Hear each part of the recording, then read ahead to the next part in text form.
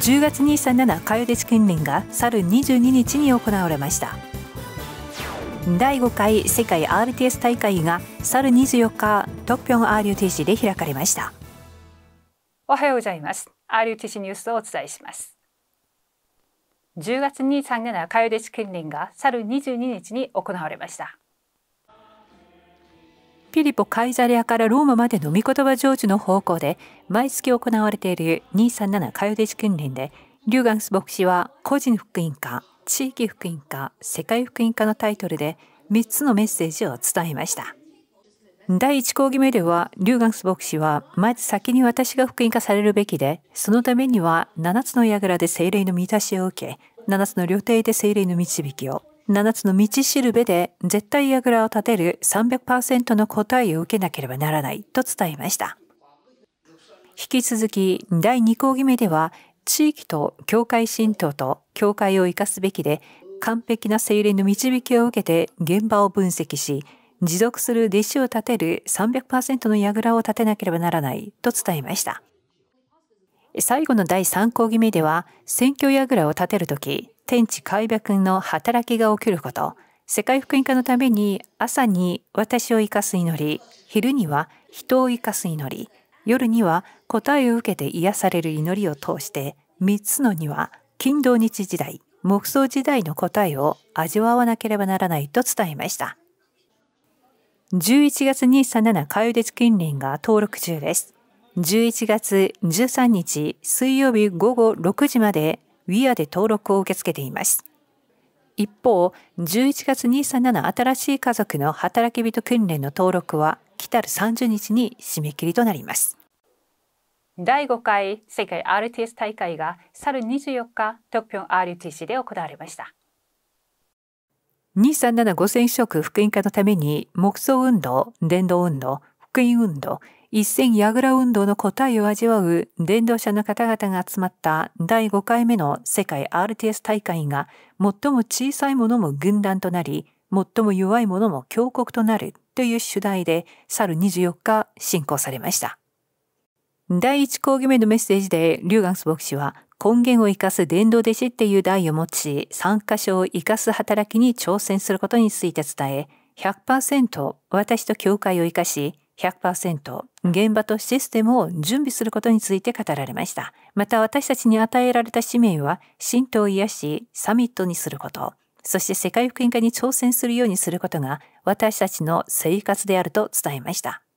引き続き第2講義目では世界を癒す主役っていう題で私たちの牧会の目標はイエス様の最後の講談の契約を握ること、そしてイエス様から与えられた完全福音を持ち神様の計画を見ることが完全な答えであると言われました。また、失われない完全な櫓を立てるようにと伝え、私たちに与えられた最後の機会は癒しとサミットであり、教会と地域と世界を生かす絶対櫓を準備することについて伝えました。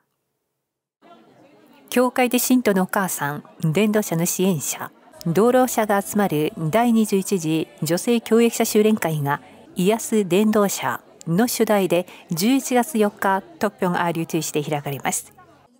国教会のすべての牧会者及び牧師夫人、女性教育者を対象にして第1講義目は午前11時、2講義目は午後7時に宣言されます。登録は31日に締め切りとなります。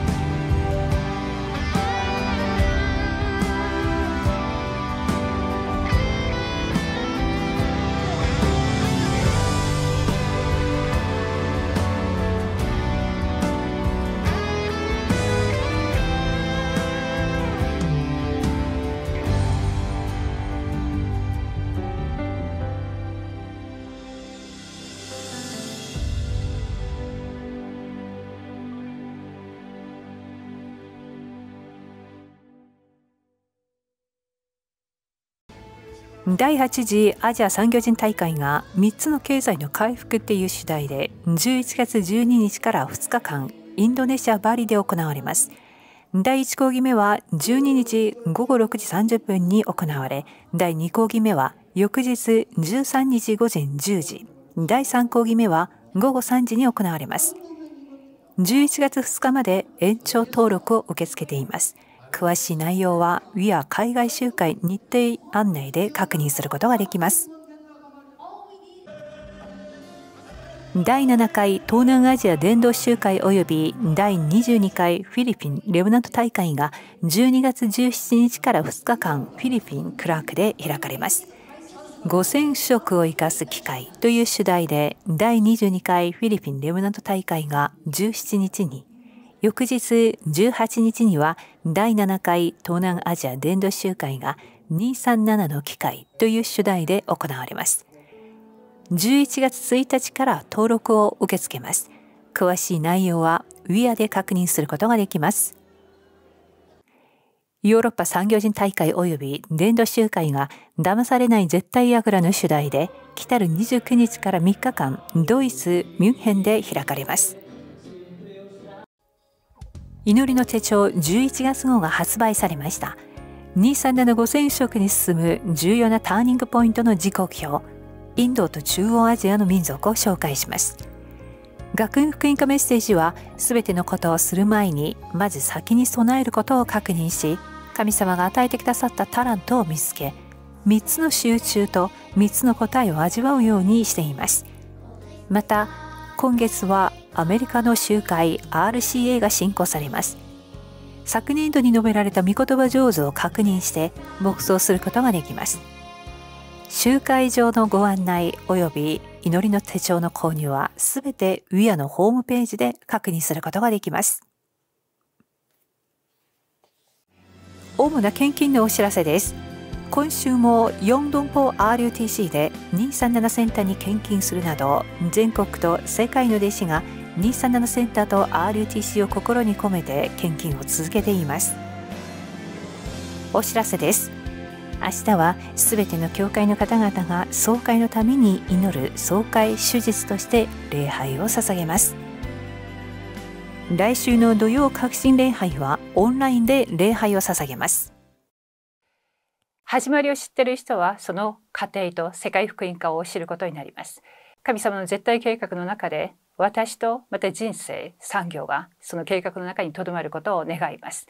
以上 RTC ニュースでした。ありがとうございます。